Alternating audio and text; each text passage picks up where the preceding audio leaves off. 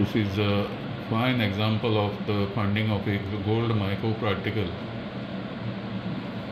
The laser beam is deflected from the gold particles as I am trying to focus. You can see it reflected dancing all over this one. That is a clear proof. Focusing beam is reflecting from the pure metal particle and it shows this particle is found in the vermicast in very first slide of below 150 micron fraction and I am very happy that in the very first slide I got in the vermicast this uh, large uh, gold uh, pure gold microparticle indicating how these microparticles get formed in the pa passage of the gut while the soil and other humic material is uh, chewed and uh, it passes through the gut of the earthworms. Then they deposit this in the vermicast where it gets immobilized and maybe the full thing gets recycled. This is for the first time that I am demonstrating the presence of the pure gold particles in the vermicaster. There are many smaller particles you can see around that and uh,